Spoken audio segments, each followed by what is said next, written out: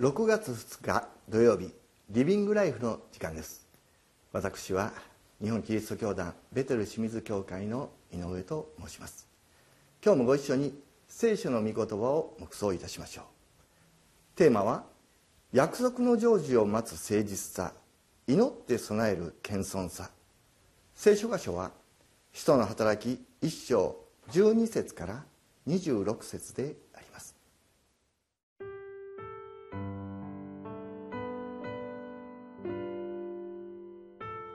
使徒の働き一章12節から26節そこで彼らはオリーブという山からエルサレムに帰った。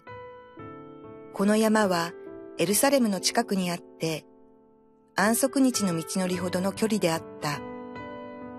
彼らは町に入ると、止まっている屋上の間に上がった。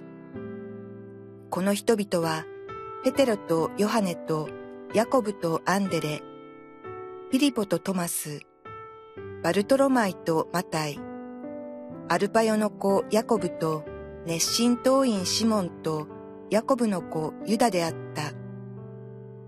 この人たちは婦人たちやイエスの母マリア、およびイエスの兄弟たちと共に皆心を合わせ祈りに専念していた。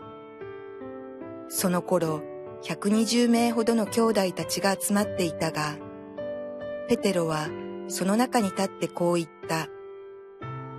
兄弟たち、イエスを捕らえた者どもの手引きをしたユダについて、精霊がダビデの口を通して予言された聖書の言葉は成就しなければならなかったのです。ユダは私たちの仲間として数えられており、この務めを受けていました。ところがこの男は不正なことをして得た報酬で辞書を手に入れたが、真っ逆さまに落ち、体は真っ二つに裂け、腹渡が全部飛び出してしまった。このことがエルサレムの住民全部に知れて、その辞書は彼らの国語でアケルダマ、すなわち地の辞書と呼ばれるようになった。実は詩篇にはこう書いてあるのです。彼の住まいは荒れ果てよ。そこには住む者がいなくなれ。また、その職は他の人に取らせよ。ですから、主イエスが私たちと一緒に生活された間、すなわち、ヨハネのバプテスマから始まって、私たちを離れて天に上げられた日までの間、いつも私たちと行動を共にした者の中から、誰か一人が私たちと共にイエスの復活の証人とならなければなりません。そこで彼らはバルサバと呼ばれ、別名をユストというヨセフとマッテヤとの二人を立てた。そしてこう祈った。すべての人の心を知っておられる主よ。この務めと使徒職の地位を継がせるために、この二人のうちのどちらをお選びになるかお示しください。ユダは自分のところへ行くために脱落していきましたから。そして二人のためにくじを引くと、くじはマッテヤに当たったので、彼は十一人の人たちに加えられた。昨日より使徒の働きを黙想しています。イエス様は弟子たちが見ている前で天に昇られました。弟子たちはエルサレムに帰り聖霊を与えるという神の約束の成就を待ち望み祈って備えていきます。12節そこで彼らはオリーブという山からエルサレムに帰った。この山はエルサレムの近くにあって安息日の道のりほどの距離であった。オリーブという山といえばその麓にあるゲッセマネの園を思い起こします。十字架にかかられる前にイエス様が夜を徹して祈られた場所であります。イエス様はよく祈られました。夜が明けると人里離れた静かな場所に行っては祈っておられました。弟子たちはイエス様の姿を通して祈ることを学びました。神の約束が成就する前には備えられた祈りがあります。救いの宮座が起こる前には多くの取りなしの祈りがあります。皆さんが救われた背後には多くの祈りがあったと思います。弟子たちがエルサレムに帰り最初にしたことは祈ることでした。13節14節彼らは町に入ると止まっている屋上の間に上がった。この人々はペテロとヨハネとヤコブとアンデレピリポとトマスバルトロマイとマタイアルパエの子ヤコブと熱心党員シモンとヤコブの子ユダであった。この人たちは婦人たちやイエスの母マリアおよびイエスの兄弟たちと共に皆心を合わせ祈りに専念していた。心を合わせ祈りに専念していた。新共同訳聖書では心を合わせて熱心に祈っていたと記されています。15節から推察するとその数は120人を超えています。120人がまるで一人の人のように心を合わせて祈る。これが教会の原点です。たとえ2人または3人であっても一人の人のように心を合わせて熱心に祈る。これが教会の原点です。教会は祈りから始まりました。教会のリバイバルも祈りから始まると言われます。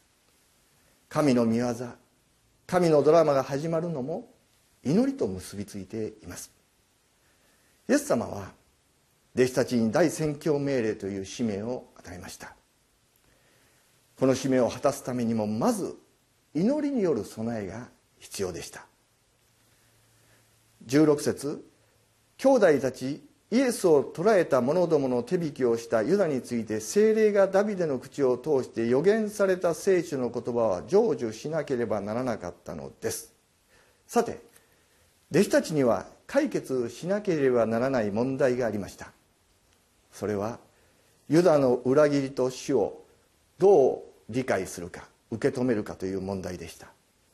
再スタートをするにあたり切実な問題として彼らのうちにありました。17節から19節を見るとそこにはユダの最後の悲惨な姿が描かれています。ペテロは言いました。実は詩篇にはこう書いてあるのです。彼の住まいは荒れ果てよ。そこには住む者がいなくなれ。またその職は他の人に取らせよ。ですから主イエスが私たちと一緒に生活された間すなわちヨハネのバブテスマから始まって私たちを離れて天に上げられた日までの間いつも私たちと行動を共にしていた者の中から誰か一人が私たちと共にイエスの復活の証人とならなければなりません。祈ることは祈りは霊的な目を開きます。御心が分かるようになります。ペテロは祈って一緒に祈って霊の目が開かれました。詩篇の御言葉を御心を知るようになりました。彼らはユダの代わりを選ぶことが主の御心だと悟ったのです。23節からそこで彼らはバルサバと呼ばれ別名をユストというヨセフとマッティアトの2人を立てた。そしてこう祈った。全ての人の心を知っておられる主よ。この務めと使徒職の地位を継がせるためにこの二人のうちどちらをお選びになるかお示しください。ユダは自分のところへ行くために脱落していきましたから彼らは御心に従ってユダに代わる人を選びます。ヨセフとマッテヤという二人の人がふさわしい。そしてどちらをお選びになるかしよ示してくださいと再び彼らは祈ってそして決めていきます。皆さんは祈りから始めておられるでしょうか？朝の一日祈りを持って始めておられるでしょうか？一週間の始まりまず祈りと礼拝を持って始めておられるでしょうか？人生は選択の連続いろんな決断があります。どの道を歩めばいいのかどちらを選べばいいのか悩むことも多々あります。そんな時もまず主に祈って決断をしていく。選んでいく。いつも祈りに導かれ行動し決断する人になりますように。皆によって祝福します。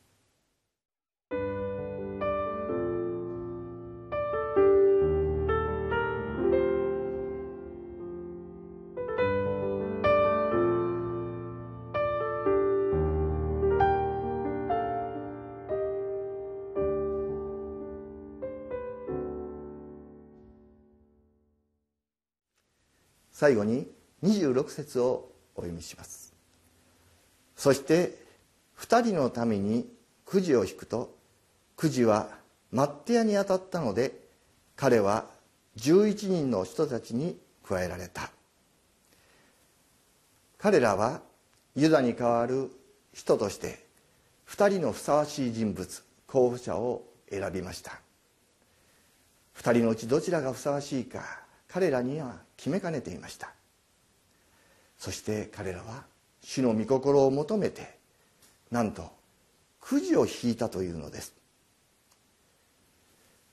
このくじの中に神の力が働いたのでしょうか。私は彼らの祈りの中に神の力が働いたと思っています。くじに意味があるのではない。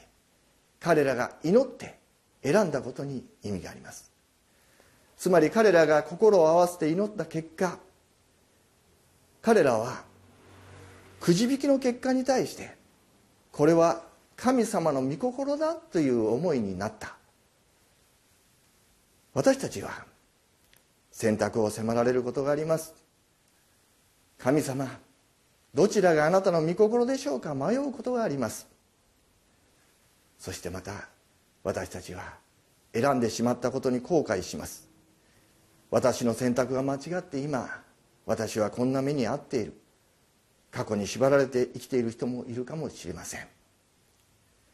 大切なことはまず死の前に祈って御心を示してくださいと言って選ぶこと。そして祈って選択した結果に対しては主に委ねていくこと。主の導きに従っていくこと。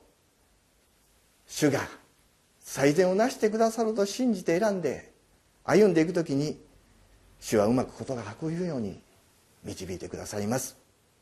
どうか今日皆さんが祈って始める人になりますように。祈って待つ人になりますように。祈って備える人になりますように。祈って選び祈って決断する人になりますように。イエス・キリストの皆によって。祝福します。お祈りします。愛する天のお父様あなたの皆を拝めます。弟子たちは与えられた使命を果たす前にまず一つになって祈って備えました。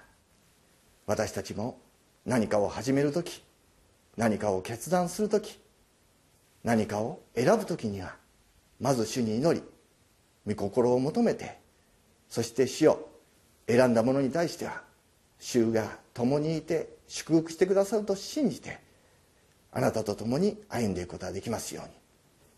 今日この番組を見られている方々の上に主が祝福してくださるようにイエス・キリストの皆によって祈ります。アーメン。